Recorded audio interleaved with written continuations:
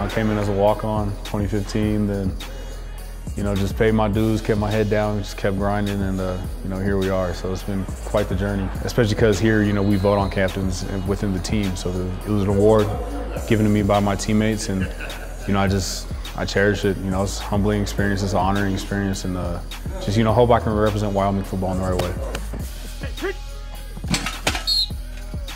Best honor in sports for sure. My dad called me right after that and he said that to me and I thought, you know, he's right. I mean, you can get elected to all conference and all that stuff, but you know, being a team captain, I mean, it's it's the guys you're around the most and they believe in you and they trust in you, so it's it's pretty awesome feeling. That's a great catch by Josh Harshman. It's always the thing that gets asked, like, what does it mean to be a Wyoming Cowboy from Wyoming? It's it's it's an awesome feeling, like I've said before, but to be elected a captain, I mean, that's just icing on the cake, I guess. You always know coming out game one is going to be a big crowd, and it's it's been that way since I've been here, and so.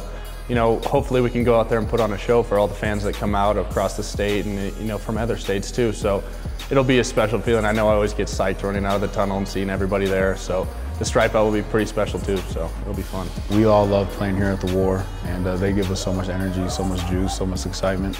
So it's going to be awesome just to get there and you know see the see the crowd packed, and we know they'll you know they'll turn out. So, but other than that, you know we're just excited to play Missouri. So if they can be wearing you know brown, gold, green, orange, whatever they want to wear, just just come and be loud. That's all we ask.